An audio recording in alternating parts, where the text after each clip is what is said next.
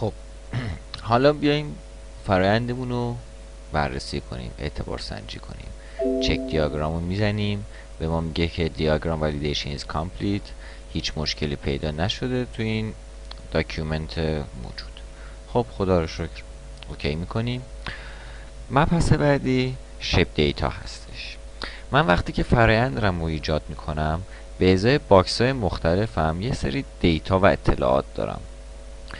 خب من می‌خوام بدونم چه data هایی چه داده هایی دارم اونا رو وارد کنم تحت کنترل داشته باشم گزارش بگیرم ازش گزارشم رو مناسب کنم به مدیریت بدم و یا از اونها استفاده کنم تجزیه و تحلیل کنم تا بتونم مدیریت هزینه مدیریت منابع مدیریت زمان بکنم و document ها دستورالعمل ها روش های اجرای مختلفی که به اینها وابسته هست رو بشناسم و بدونم کدوم هستش و انواع اقسام داده هایی که مورد نیاز هست.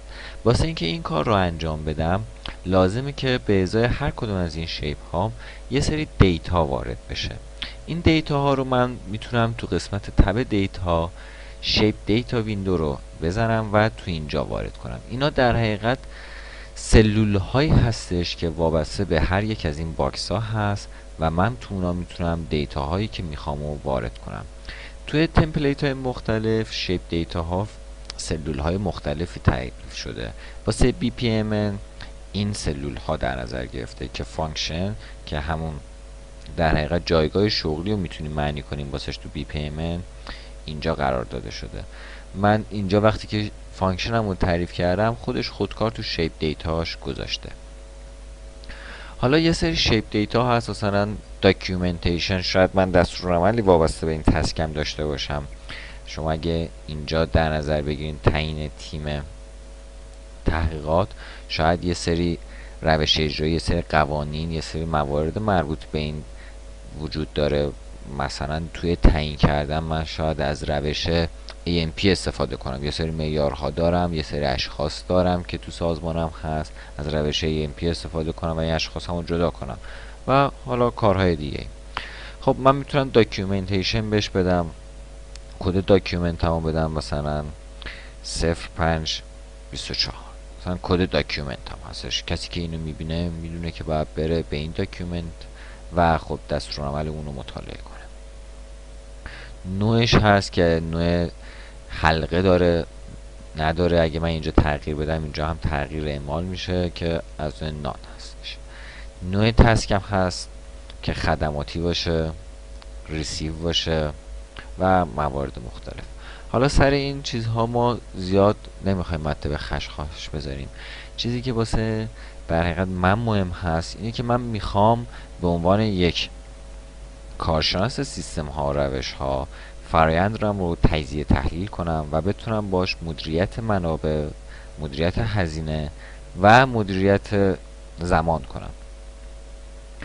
و اینکه بتونم report رو از این بدم به مدیر خودم که بگم این فرایند چقدر هزینه داره می‌بره چقدر زمانش طول می‌کشه و کارهای مختلفی که با اون می‌تونه به خاطر این باید data های مشخصی رو واسه این قرار بدم. چیزی که از اول گفتم اینه که data ها مربوط به هر یک از این box هاست و ممکنه متفاوت باشه. من می‌تونم data های متفاوتی داشته باشم. چون BPM به صورت template اینا رو Visio قرار داده واسش من می‌خوام اینا رو تغییر بدم. باید روش کلیک راست کنم. تو قسمت data define shape data رو انتخاب کنم. تو اینجا تمام shape data هایی که برای این box قرار داده شده رو به من نشون میده و همینطور مشخص های مربوط به اونو. خب آیدی هستش کتگوریز هست. اگه توجه کنید من اینجا آیدی دارم ولی اینجا نمی‌بینم آیدیمو برای چی؟ به خاطر اینکه اگه بیایم جلوتر اینجا هیدنش یکه و پنهانه. من می‌خوام اینو ادیت کنم و هیدن نباشه. این این تیک هیدنش رو بر میدارم و خب صفر میشه و OK می‌کنم و ID هم میادش. اما اگه توجه کنین تو این دیگه ID نیست. به خاطر اینکه همونطور که گفتم این با این الان متفاوته. من می‌خوام یه سری shape data هایی داشته باشم مثل زمان و هزینه که تو همه اینا وجود داره. برای این کار من حالا اینو دوباره hidden می‌کنم. برای این کار اون box رو می‌تونم انتخاب کنم. و shape data مربوطه رو وارد کنم ایجاد بکنم. این شاید روش سختی باشه واسه اینکه shape data بخوایم وارد کنیم. فکر کنین من 2300 تا نمودار کشیدم. حالا بخوام تک تک اینا رو انتخاب بکنم و shape data واسش تعریف بکنم. نه وقتی که من می‌خوام تعداد زیادی فرایند بکشم template لازم دارم. شکل هایی که در حقیقت خودم می‌خوام لازم دارم. از اینا استفاده می‌کنم ولی می‌خوام فونتش B Nazanin باشه. برای اون کار تو جلسات آتی حتما صحبت می‌کنیم. تو جلسه بعدی در حقیقت. صحبت می‌کنیم که چجوری یه template داشته باشیم و از اون بتونیم استفاده کنیم. ولی در حال حاضر فعلا اینا رو select می‌کنم کلیک راست می‌کنم data define shape data من می‌خوام دو تا shape data واسش دو تا shape data جدید واسش تعریف بکنم. خب اولی هزینه هستش. label ش این label ی که اینجا قرار داده میشه هزینه است. اسم چیزیه که می‌شناسه اونو. نوعش string نیست. number currency هم می‌تونم بذارم. به دلار باشه.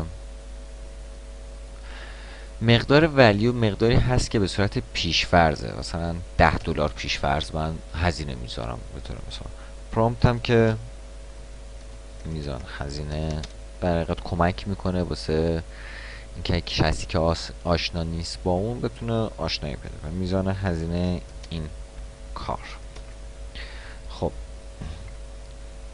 سورت کیش هم که حالا زیاد شاید به درد بخور نباشه اینجا ولی واسه هیچ کدوم هم تعریف نشده ولی کلید در حقیقت سورت کردن اون هستش.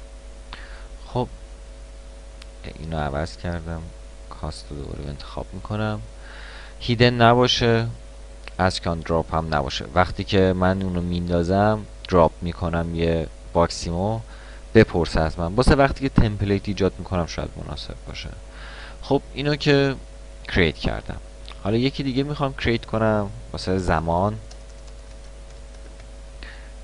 name شم زمان. label ش بگه به من که به دقیقه است. خب نوعش که string نیست.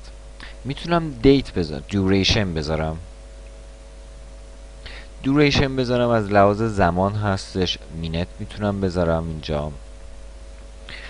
بعد فقط یه مقدار موقع گزارش گیری شاید توی حالا با هم می‌بینیم توی Excel اذیت بکنه. اگر خواستیم می‌تونیم number هم استفاده کنیم چون اینجا من تعریف کردم به صورت minute هستش. ولی خب می‌تونیم number هم بذاریم. ولی همینجا چون duration هست duration انتخاب کنیم. خب الان زمان منم حالا به صورت پیشفرض 5 دقیقه قرار میدم با هر کدوم. OK می‌کنم. الان اگه من هر کدوم از این box ها رو انتخاب بکنم اینو یکم بزرگتر کنم می‌تونیم ببینیم که هزینه رو آورده 10 دلار و اینو آورده 5 minute 5 دقیقه. و خب واسه همه اونایی که select شده این اعمال شده. خب من shape data رو تعریف کردم. حالا می‌خوام یه گزارش بگیرم و تو اون گزارش بگم که هزینه هر یک از این box های من چقدر هست چه box هایی دارم چه مواردی توی این قرار داده. خب گزارش همیشه مهمه به خاطر اینکه ما یه کاری که می‌کنیم باید به مدیر بالادستی خودمون بگیم چجوری شده و حتی اگرم خودمون ارشد باشیم از اون گزارش استفاده کنیم و تصمیم درست رو بگیریم. خب چجوری می‌تونم از این data ها گزارش بگیرم؟ تو tab review shape report داریم. اگه این shape report رو من بزنم اون وقت یه پنجره واسه من باز میشه که می‌تونم report های پیشفرضمون رو ببینم. مثلا report flowchart هست و inventory report flowchart مخصوص BPM و فلو چارت ها هست که Visio واسه ما قرار داده. و report inventory تو تمامی report ها تو هر template ی وجود داره. من می‌تونم انتخاب کنم اونا رو modify کنم و اصلاح کنم بر اساس اون چیزی که می‌خوام. ولی خب بهتره که template هاشو دست نزنیم و چیزی که می‌خوایم و از اول ایجاد کنیم. اینجا رو اگه نگاه کنین من show only drawing specific reports. اگه اینو بردارم تمام report هایی که وجود داره و Visio قرار داده رو می‌تونم اینجا ببینم. خب تو اینجا اصولا همین چیزی که خود Visio قرار داده مخصوص BPM هستش. حالا من یه دونه new می‌کنم. میگه کدوم رو می‌خواید تو فقط تو این صفحه باشه shape هایی که تو این صفحه هستن رو report می‌خوای بگیری یا کل این document؟ من چیزایی که فقط اینجا هست. اگه advanced رو انتخاب بکنم می‌تونم محدود بکنم تعداد سطرهای خودمو که در حقیقت وجود داره بر اساس یک سری معیارها. من ستون دارم ستون من همون shape data ها هستن سطرها دارم که property ها هستن. من می‌تونم بیام اینجا بر اساس value هر کدوم که مثلا هزینهش کمتر هر کدوم که value ش مثلا کمتر بود یا بیشتر از یه حدی بود و انتخاب بکنم. بر اساس name و بر اساس نوع فرایند و هر چیزی که هست. حالا در حال حاضر من می‌خوام تمام report م رو کامل داشته باشم. خب اینو OK می‌کنم. بعد next رو می‌زنم. خب حالا می‌خوام چه ستون هایی داشته باشم؟ همون shape data های من. در حال حاضر من ارتفاع اینا واسم مهم نیست که چقدر هست. ولی مثلا ID به خاطر که unique هست مهمه. shape name چیزی که به صورت پیشفرض وقتی که من یه shape رو ایجاد می‌کنم از master می‌گیرم و می‌کشم میندازم اینجا Visio خودکار به اون میده و unique هستش. می‌تونم اونو تغییر بدم. cost و time واسه من مهم هست. من اینجا time minutes رو انتخاب می‌کنم. خب وقتی که next رو بزنم میگه report title چی باشه؟ میگم BPMN report چیزی هستش که وقتی report می‌گیرم اون فایل رو بر این اساس save می‌کنم. subtotal. من می‌تونم به ازای ستون های مختلف هم جمع ببندم. خب من مثلا می‌خوام count shape ID مو داشته باشم. می‌خوام جمع هزینه هامو داشته باشم که اینجا چون currency زدم نمی‌تونه بشناسه ولی جمع زمانمو می‌تونه بگیره. group بکنم و اگه مثلا من گروه و طبقه داشته باشم می‌تونم اونو group بکنم و زیر طبقه ها زیر اون باشم ولی در حال حاضر ندارم.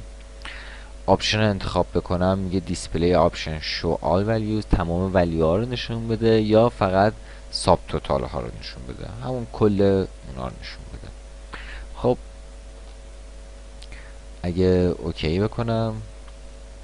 بعد نوع فرمتی که می‌خوام می‌تونم اینجا ایجاد بکنم که فرمت Persian دو هستش. همین فرمت خوبه.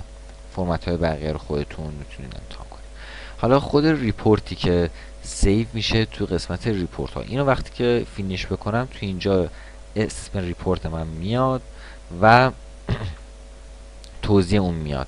save file منم تو جایی که می‌خوام می‌تونم ببینم که کجا باشه. من اول اسم report هم می‌ذارم BPMN custom. description یه توضیح در مورد اون میدم. my BPMN custom report. و کجا می‌خوام save بکنم؟ میام میگم که توی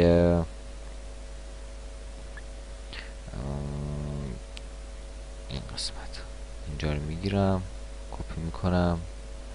میام اینجا می‌ذارم. خب finish می‌کنم. این report من هر وقت که run بکنم میاد میگه کدوم بر اساس چه فایلی فرمتی؟ اکسل رو انتخاب می‌کنم. یه دونه report generate می‌کنه و save می‌کنه تو اون جایی که واسهش تعریف کردم. خب حالا این ریپورت من هست. همونطور که می‌بینین این اعداد منو اینجا سیگرک گذاشته تعداد اعشارش نامناسبه ده دلاری که می‌خواستم. بعد اینجا زمانها رو اصلا صفر واسه من در نظر گرفته بخاطر که نتونسته خوب بشناسه. برای این کار باید چیکار بکنم؟ باید بیام توی توی ویزیوی خودم. shape data مون یه مقدار عوض کنم به طوری که اینو بشناسه می‌تونم بیام اینا رو دوباره کلیک بکنم. بهترینش که می‌شناسه number هست. من میام یه دونه define new می‌کنم. مثلا هزینم و time و هزینم رو بر میدارم.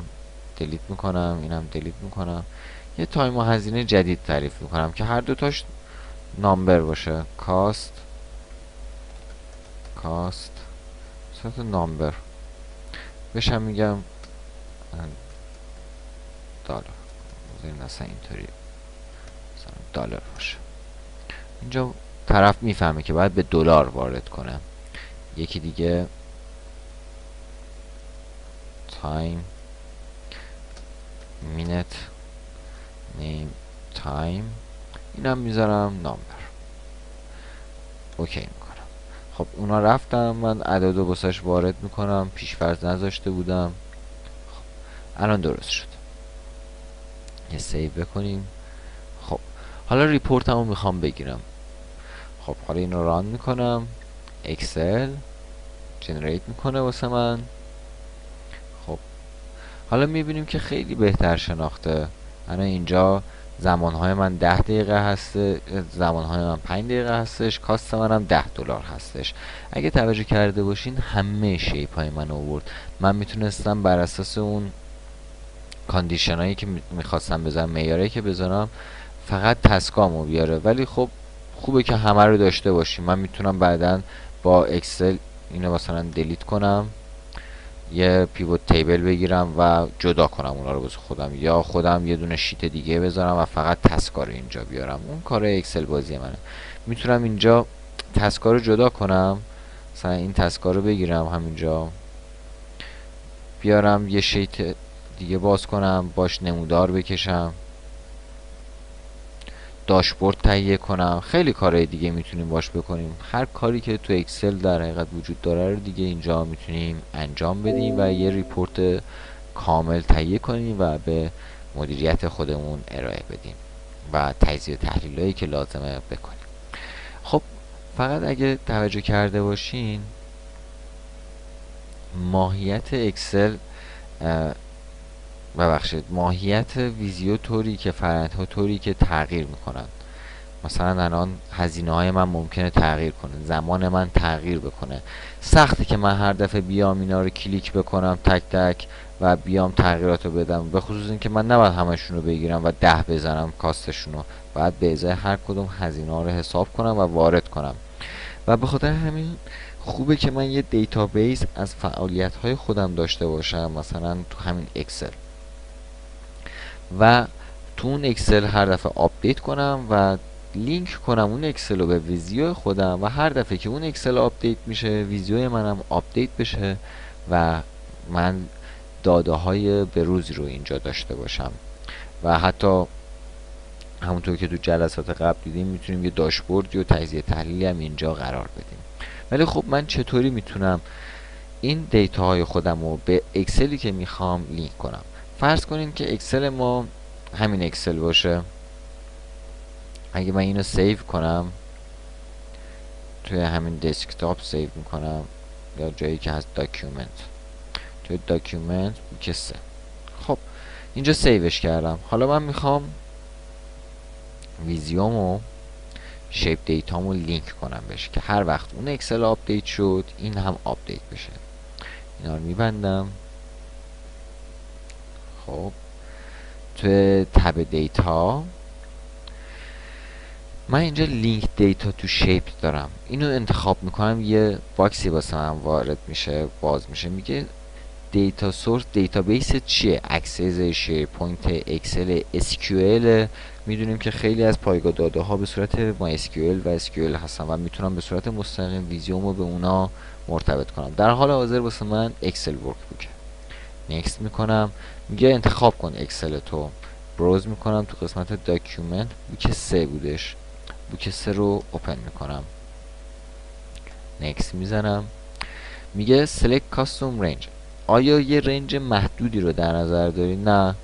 من کلا sheet یکم دیتا های من هست. میگه چه worksheet ی رو در نظر داری یا range ی رو در نظر داری؟ من worksheet م انتخاب می‌کنم. می‌تونم select کنم range مو که اگه اینو select بزنم اکسل من رو باز می‌کنه. در صورتی که نه من کلا کل sheet مو می‌خوام. میگه اولین سطر تو شامل header های ستونت هستش یعنی سر ستونات هست میگم بله time من cost من اونجا تعریف شده و بعد دیتا قرار داده. خب پس next می‌کنم. میگه چه ستون هایی می‌خوای اینجا include بشه؟ همشون می‌تونم باشم یا اینکه فقط یه سری رو انتخاب بکنم. من میگم همش باشه. میگه چه سطرهایی رو می‌خوای شامل بشه؟ اونم میگم همش باشه مشکلی نداره. خب. next می‌کنم. میگه اون سطری که unique هست و نشون دهنده یک shape unique می باشه رو انتخاب کن. می‌تونم shape name م انتخاب بکنم. ولی به صورت recommended خودش هم میگه ID به صورت پیش فرض اونی که unique هستش رو واسه انتخاب می‌کنه. و ID هم مناسب مثلا من واسه همین ID رو انتخاب کرده بودم اونجا. next می‌کنم و finish رو می‌زنم. خب می‌بینیم که تمام دیتا های اون اکسل منو اوورده اینجا. در حال حاضر میگه external data های من این هستن. ولی در واقع اینا هنوز لینک نشدن به این. من وقتی می‌تونم اینا رو لینک کنم که اینو مثلا بگیرم بندازم اینجا. وقتی که بندازم اینجا این ناکنه علامت اینجا هستش. اگه من اینجا هم زوم کنم می‌بینیم که یه لیبلی رو به صورت خودکار خودش انداخته و گفته نا... اینو ناکنین حالت لیبل داره من اینجا بذارم که این هستش. خب دو تا اتفاق میفته یکی اینکه من تک تک باید اینا رو بگیرم بندازم روش که کار سختیه. دوم اینکه من اینو دوست ندارم باشه من می‌خوام هم shape م تغییر نکنم. چی کار می‌تونم بکنم؟ خب برای اینکه اون label ها نیفته و بریم تو قسمت data graphic این تیک apply after linking data to shape رو ورداریم.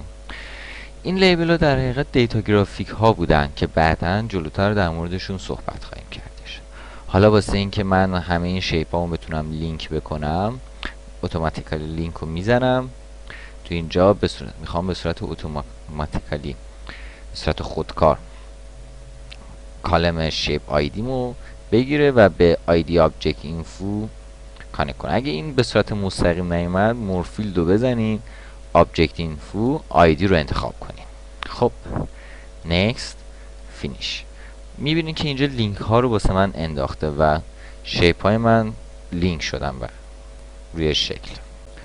خب حالا با استفاده از لینک کردن اینا ما می‌تونیم داده هامون رو توی نمودارمون به روز نگه داریم. وقتی که دیتابیسمون تغییر می‌کنه با refresh کردن اون دیتا ها ویزیومون هم تغییر می‌کنه و data shape هامون به روز میشه.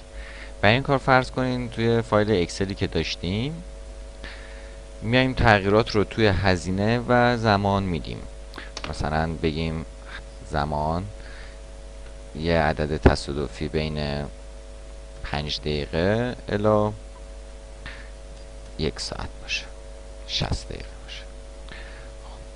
اینا رو تا آخر میدیم پایین و هزینه هم یه متغیر تصادفی بین مثلا 5 دلار تا 80 دلار باشه. اینا هم تا آخر می‌کشیم خب. واسه اینکه تغییر هر لحظه نکنه یه copy paste as value هم خب حالا اکسل من بروز شد. save می‌کنم. میبندمش. می‌خوام دیتا هام هم تو اینجا ببینم بروز میشه یا نه. به این کار refresh رو می‌زنم refresh all می‌بینیم که داده هامون بروز شد و هزینه و زمان جدید وارد ویزیو ما شدش. خب حالا واسه اینکه من بتونم به طور مناسب تر از این shape data هم استفاده کنم می‌دونیم که یکی از کارهایی که می‌تونیم در موقع استفاده از این نمودارها. برای بهبود زمان و هزینه به کار ببریم. اینه که نمودارمون رو بیاریم توی یک جمعی و در مورد هر کدوم از این box ها صحبت بکنیم. و خب تو اون جمع تو اون جلسه ای که هستیم خیلی مهمه که ما بتونیم بهتر از همه ببینیم کدوم هزینه های بیشتری رو داره و کدوم ها هزینه های کمتری رو داره. برای این کار می‌تونیم از data graphic ها استفاده کنیم. data graphic ها یه نمای گرافیکی رو در اختیار ما قرار میدن که با استفاده از اون می‌تونیم ویژگی های یک فعالیت یا یه شکل رو بهتر ببینیم. برای این کار data graphic رو تو tab data ها کلیک می‌کنیم و create new data graphic رو می‌زنیم. حالا می‌تونیم یه new item رو بزنیم و یه data graphic جدید رو ایجاد کنیم. میگه data field که می‌خوای رو انتخاب کن من می‌خوام هزینه باشه. نوعی که می‌خوای نشون بدی رو هم انتخاب کن. می‌تونن به صورت text باشه. یه فایل text رو میاره به صورت های مختلف. فرض کنین یه text معمولی رو دفعه اول انتخاب بکنیم اینجا میگه position ی که می‌خواید قرار بگیره نسبت به شکل کجا باشه. میگه می‌خوای به صورت default باشه اونی که در default انتخاب کنی حالا بهتون نشون میدم یا اینجا باشه. فرض کنیم من default رو انتخاب می‌کنم. اینجا می‌تونیم امکانات دیگه رو استفاده کنیم که چه جوری باشه. می‌خوام fill داشته باشه به طور مثال از این fill ش رو میام filled می‌کنم. OK می‌کنم. خب جاشو این جایی که اینجا من تعریف می‌کنم همون دیفالتی هستش که اونجا دیده بودیم. اگه من اون کلیک رو بزنم و بگم از این دیفالت پیروی کن میاد از این پیروی می‌کنم که این تیک خورده شده. اگه این تیک رو نزنم اون از اون چشم پوشی می‌کنه و چیزی که اینجا تعریف شده رو استفاده می‌کنم من همین دیفالت رو قرار میدم که بگم مرکز شکل پایینش. خب میگه show border around items باشه یه border ی هم دورش باشه بعد نیست. میگه وقتی که data graphic باشه text ی که درون اون box هست رو نشون ندم. چرا نشون بده؟ چون توضیحات ما اونجا هستش. خب اینو OK می‌کنم. میگه می‌خوای که به تمام شکلایی که select شده apply بشه میگم yes خب این تنها شکلی که ما select کرده بودیم این line ه بودش. اینو ور میدارم. میگم میگم اینجا کلیک راست می‌کنم دیتا گرافیک ریموو دیتا گرافیک می‌کنم. این شکلهایی که می‌خوام باشه رو select می‌کنم. می‌خوام روی box هم فقط باشه.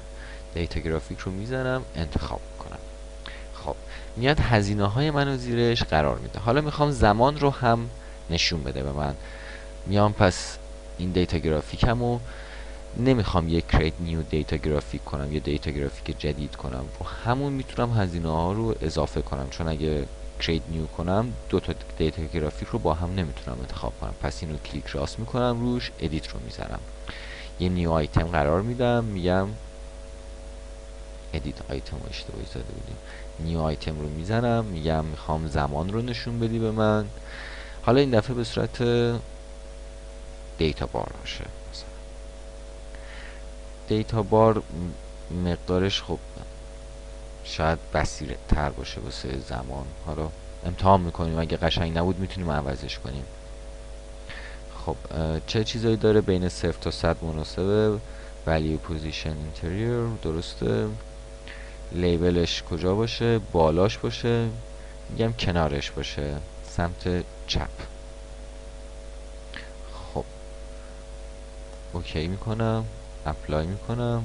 OK می‌کنم می‌دونین خیلی زیبا نشون دادش که زمانهای من چقدره.